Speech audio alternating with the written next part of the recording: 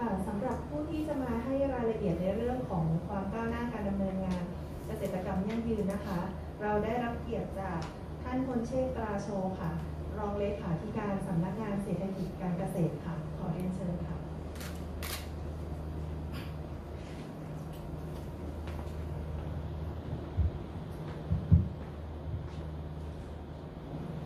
ครับก็สวัสดีนะครับ ส่วนการแถลงข่าวประจำสัปดาห์ของสำนักงานเศรษฐกิจการเกษตรนะครับกับผมนายพลเชษ์ราโชรองเลขาธิการสำนักงานเศรษฐกิจการเกษตรนะครับ ก็จะมาแถลงเกี่ยวกับการดำเนินงานโครงการสำรวจการเกษตรนะครับ เพื่อสนับสนุนและส่งเสริมการเกษตรแบบยั่งยืนของประเทศไทยซึ่งเป็นโครงการที่ทางสำนักงานเศรษฐกิจการเกษตร ได้ร่วมมือกับทางรัฐบาลญี่ปุ่นนะครับ โดยกระทรวงเกษตรอ่าป่าไม้ ได้สนับสนุนงบประมาณให้กับทางสำนักงานเศรษฐกิจการเกษตรในประเทศไทยนะครับจำนวน 20,000 เหรียญ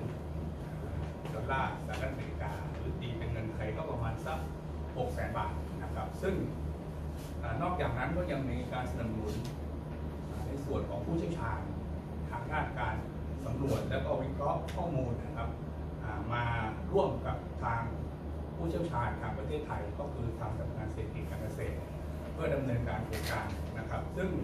โครงการนี้นะครับก็มีวัตถุประสงค์กว้างๆก็เพื่อต้องการที่จะสนับสนุนและส่งเสริม การสำรวจการเกษตรแบบยั่งยืนตามตัวชี้วัดของ SDG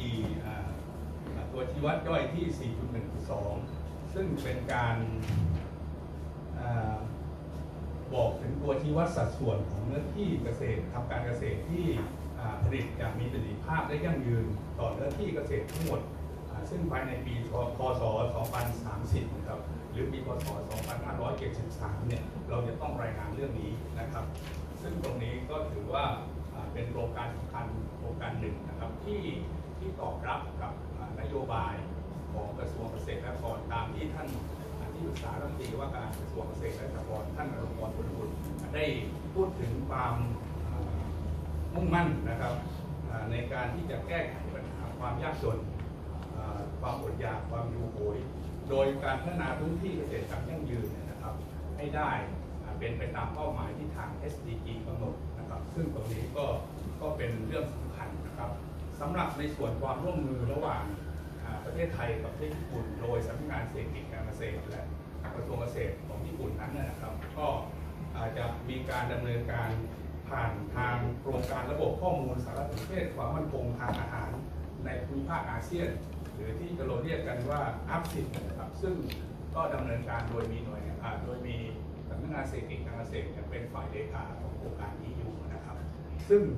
โครงการสำรวจการเกษตรเพื่อสนับสนุนและส่งเสริมการเกษตรแบบยั่งยืนของประเทศไทยนะครับหรือเราเรียกสั้นๆว่า SAT PSA นะครับซึ่งตรงนี้ก็จะเป็นการนำร่องเพื่อต้องการที่จะต่อตัวที่วัด อ่า SDG ที่ 2.4.1 นะครับ ซึ่งจะต้องการให้เห็นว่าประเทศไทยเนี่ยมีความมีการพัฒนาที่ยั่งยืนอย่างไรหลังจากที่รัฐบาลได้มีนโยบายในเรื่องนี้แล้วนะครับ ซึ่งผลการดำเนินงานเนี่ยเนื่องจากว่างบประมาณที่ทางประเทศญี่ปุ่นเนี่ยสนับสนุนเรามาเนี่ยไม่มากนะครับเพราะฉะนั้นการดำเนินการในเรื่องวิชาการเรื่องนี้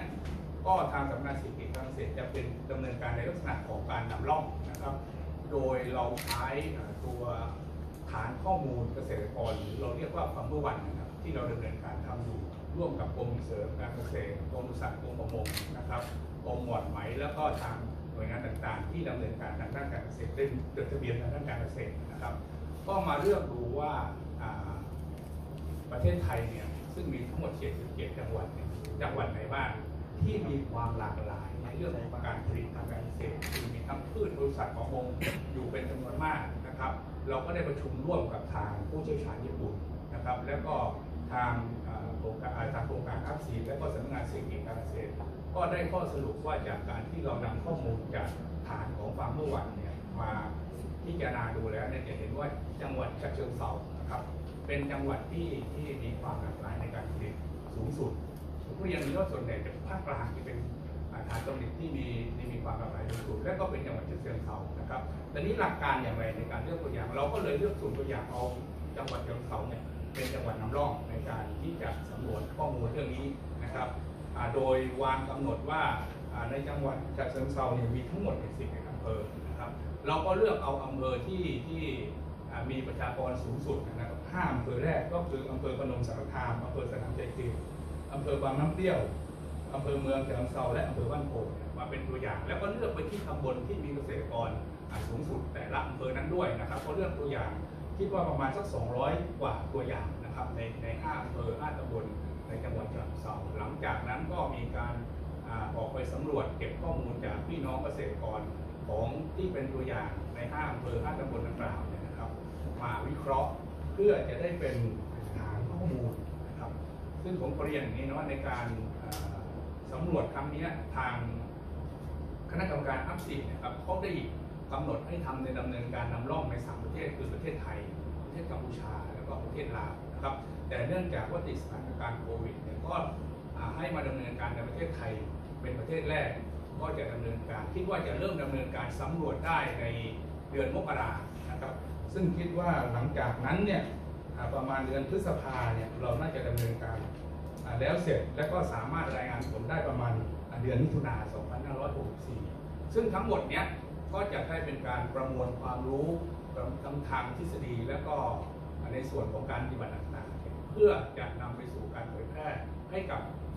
ประเทศต่างๆ ในสมาชิกอาเซียนทั้งหมดนะครับ แล้วก็ประกอบกับจะได้นำฐานข้อมูลตัวนี้ครับเป็นข้อมูลที่ใช้ในการที่จะ เป็นฐานในการติดตามเรื่องของอ